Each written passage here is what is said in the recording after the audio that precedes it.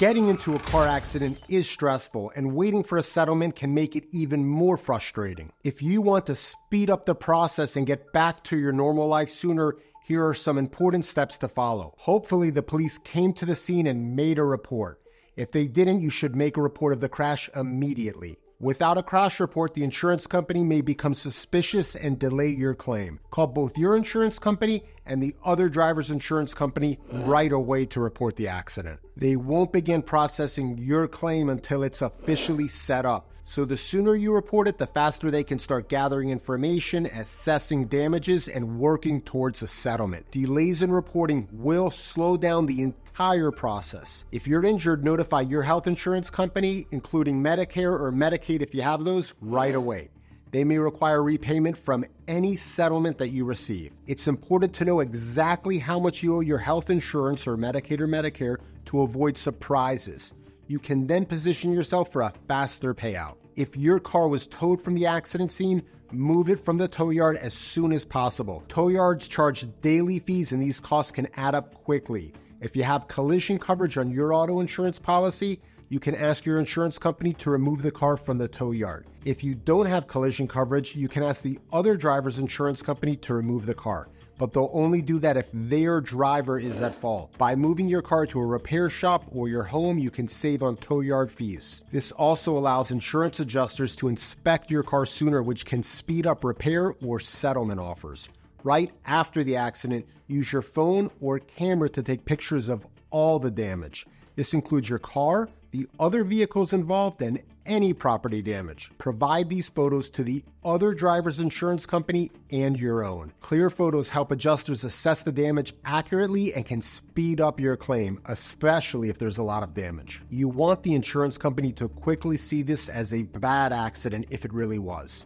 You can make a claim for a rental car from your insurance if you have rental car coverage or you can ask the at fault driver's insurance to set up a rental car for you. Here's a pro tip if you canceled your auto insurance after the crash, ask the other driver's insurance company to pay for the insurance on your rental car. The other driver's insurance company may pay for insurance on the rental car if you didn't have collision and comprehensive coverage on your car insurance. Most people in car accidents and even many lawyers don't make this next claim, but you should strongly consider it as it may get you paid big. In fact, I was recently able to quickly get one client almost $10,000 for this claim. It gets better. I didn't charge an attorney's fee on the almost $10,000 that I got my client. So, what's this claim? Well, you may already know that if the other driver's at fault, their insurance company owes you for a rental car until they pay for your car, but they only owe you up to their insurance property damage insurance limit. But what happens if you don't rent a car? Maybe you have another vehicle to drive and you choose not to rent a car. If you were without a rental car after the accident, make a loss of use claim with the other driver's insurance company. This claim seeks compensation for the inconvenience of not having your car or rental car. Explain to the insurance company that you were without a car due to the accident. They may compensate you for each day you couldn't use your vehicle. This helps make up for the disruption to your daily life. Go online to a car rental company website in your zip code or close by. Make a reservation for the same or similar make and model of the car that you were driving at the time of the crash. You're not actually going to get the rental car. You're going to use this reservation to show the at fault driver's insurance company how much not having your car is worth per day. Now, expect the at fault driver's claims rep to push back on your loss of use claim. I've had them tell me that they don't pay for that. However, I've successfully made this claim before. In your first letter to the at fault driver's insurance company, include the law that allows you to make a loss of use claim. If you had car insurance, the at fault driver's insurance company will want to reach out to your car insurance company. They'll confirm that you weren't paid for a rental car from day one. If you were, the at fault car insurance company isn't required to pay you for loss of use. Most people whose cars are damaged in a crash don't make this next claim, and it can put pressure on the at fault driver's insurance company to settle faster. Even after repairs, your car might be worth less than it was before the accident. This is especially true if it's a newer model. This loss in value is called diminished value. You can make a diminished value claim with the other driver's insurance company. Provide evidence of your car's value before and after the accident.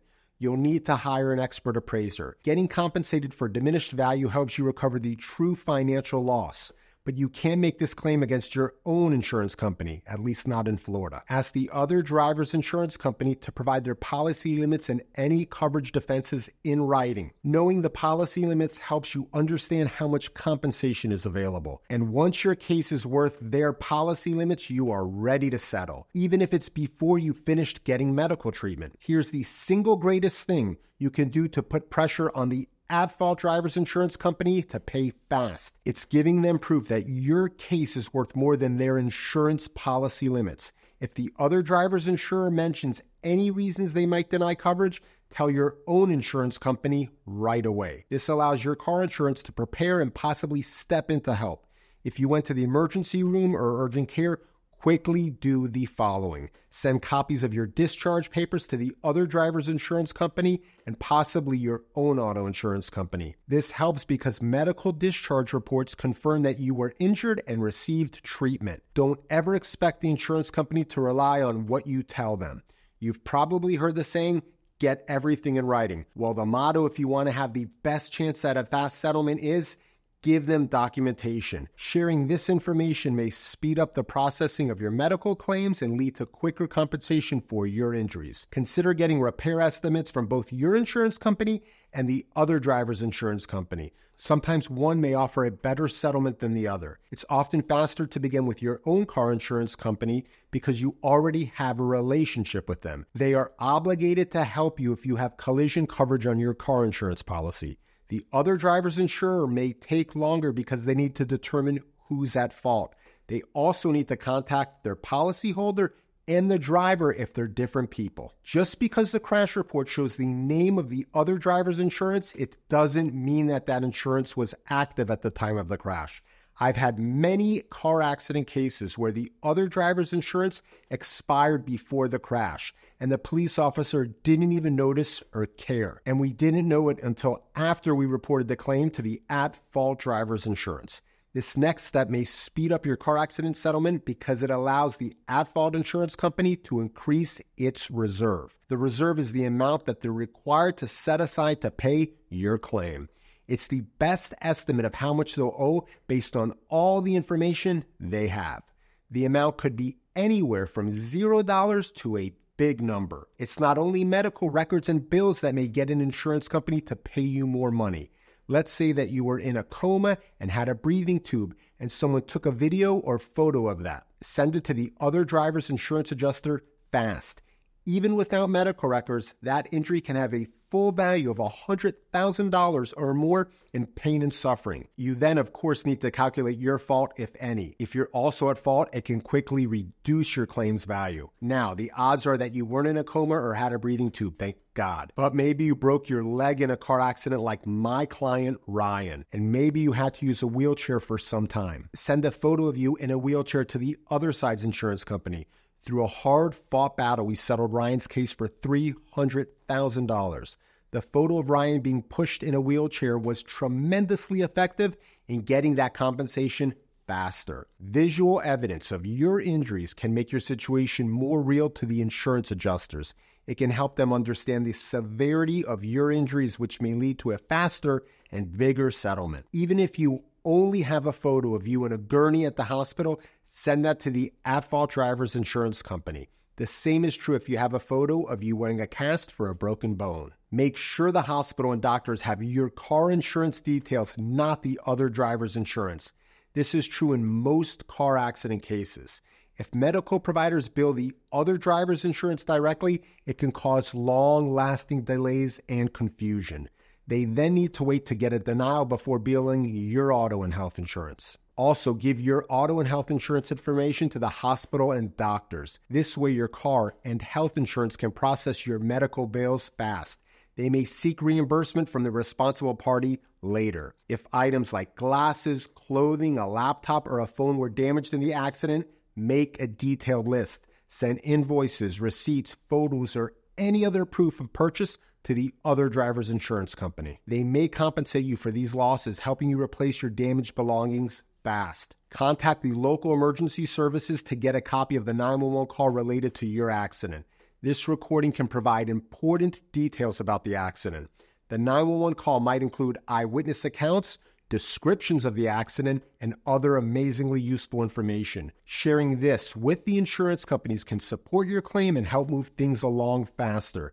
But be sure to listen to the 911 call before sending it to the at fault driver's insurance company. Make sure that it helps your case more than it hurts it. Speeding up your car accident settlement is great, but it won't give you the best chance at a large payout.